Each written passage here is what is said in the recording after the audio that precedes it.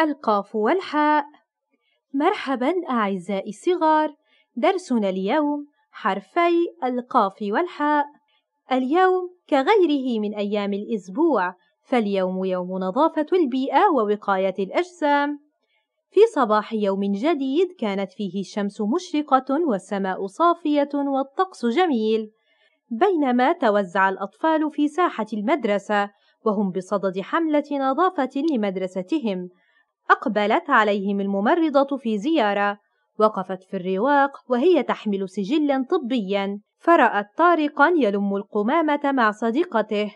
التفتت إلى ساحة العلم فرأت فردوس تسقي القرنفل. وعلامات السعادة تغمر سمات وجهها الصغير. ابتسمت وقالت هذه مدرسة تروق الزائر وبعد انقضاء حملة النظافة التحق الأطفال بالقسم.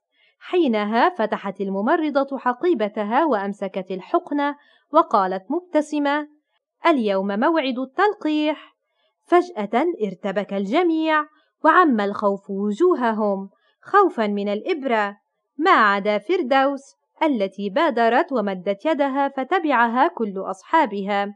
ففرحت الممرضة وقالت أحسنتم التلقيح يحميكم.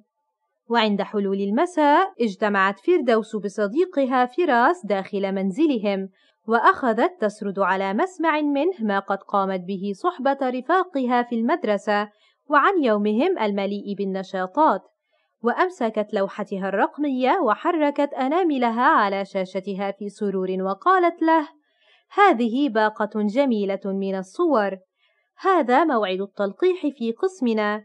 وهذه حملة النظافة في مدرستنا.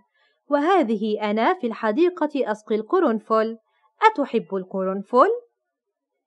يمكن أن نجد حرفي القاف والحاء في ثلاثة مواضع.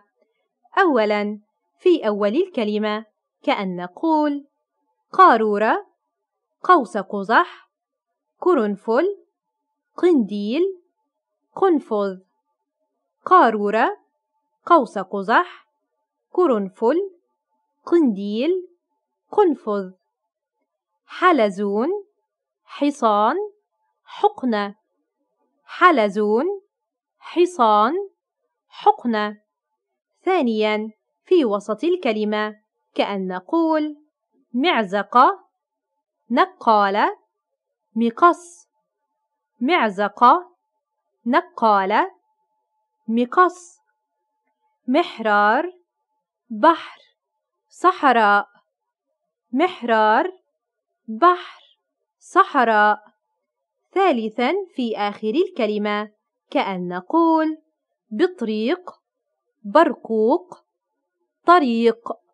بطريق برقوق طريق.